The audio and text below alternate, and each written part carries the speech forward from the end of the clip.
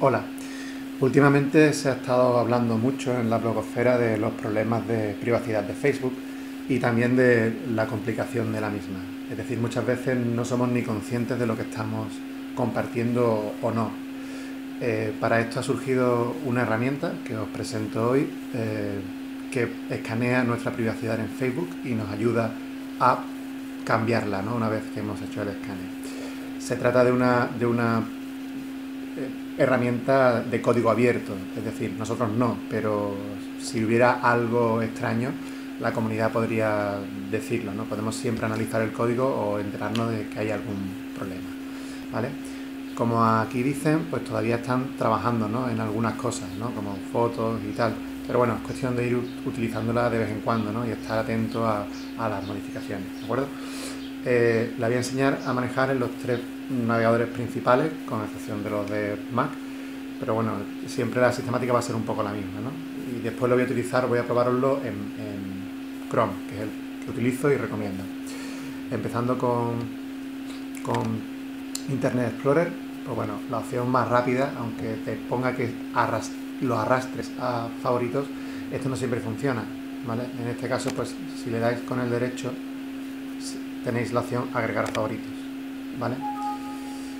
Te pone esto porque es normal porque en realidad es un JavaScript, es un, es un comando lo que instala, no es una página web, ¿vale? Pero en principio confiemos en que el software libre, el, el, el hecho, no, perdón, no software libre, el hecho que sea código abierto, pues nos evite problemas.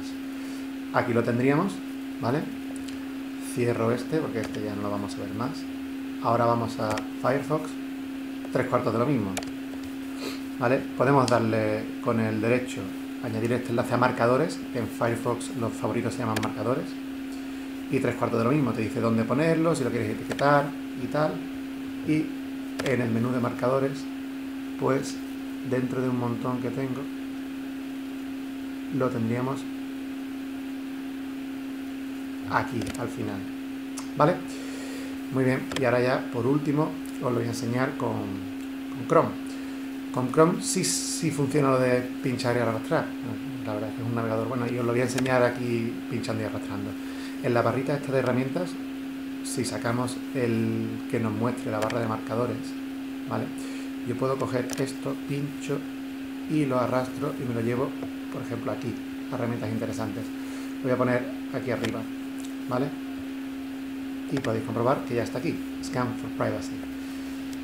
Ya me he logado en mi cuenta de Facebook, ¿vale? Y bueno, eh, pulsando Scan for Privacy, se abre aquí una pequeña herramientita, ¿veis? Que te va dando información. Por ejemplo, tengo aquí una cosa que está insegura, ahora vemos porque lo he dejado conscientemente para enseñároslo, una cosa que aparece como insegura y una cosa que aparece como precaución. Eh, empecemos por precaución, ¿vale? Alguna de tu información, aparte de tu información de contacto, está expuesta a todo Internet.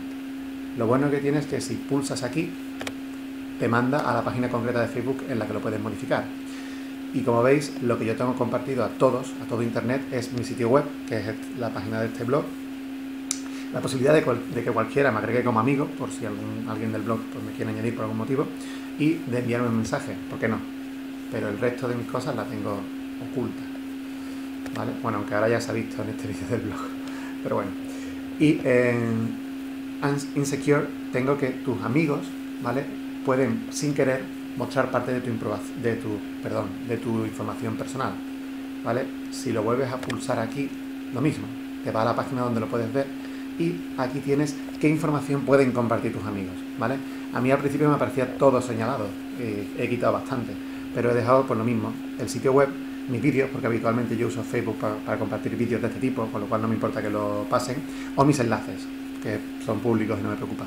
Pero he quitado cosas como mis fotos, o acerca de mí, o mi cumpleaños, ciudad de origen, creencias, autorizaciones de estado, que a nadie le importa, salvo que sea amigo mío. ¿De acuerdo?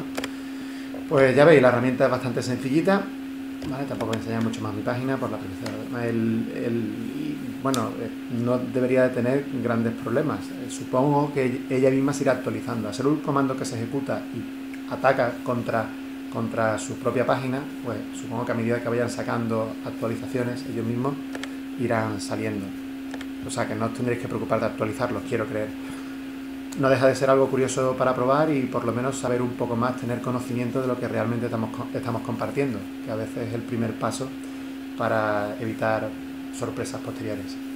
Eh, pues nada más, si tenéis alguna duda, como siempre, un correo o un comentario e intentaré echaros una mano. Hasta luego.